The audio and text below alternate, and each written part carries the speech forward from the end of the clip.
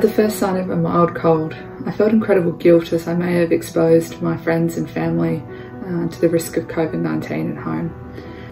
Fortunately, my test was negative, but the experience forced me to acknowledge my fears of contracting COVID-19 at work, bringing the disease home to my husband and daughter, and ultimately accept and acknowledge that I'm doing everything I can within my power to try to reduce that risk. All of our patients are so anxious.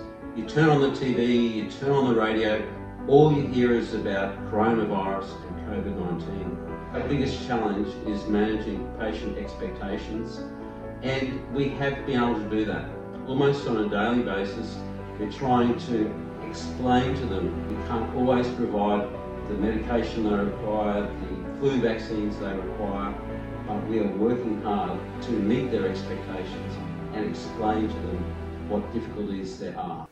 One of the challenges for me during this pandemic has been not being able to catch up with my friends. I have a close group of friends from medical school and we used to catch up every week on a Friday night um, over dinner and it'd be a great time to debrief over you know, stresses at work.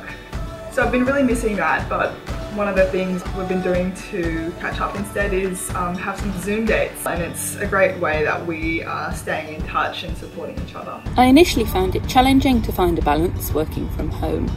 It can be easy for work life to seep into home life, especially when you're home all the time and there's such a lot to be done at the moment. But I've found that by turning off non essential notifications and maintaining clear boundaries, such as not checking work emails outside of my working hours, um, that I've been more productive when I am sitting down to work.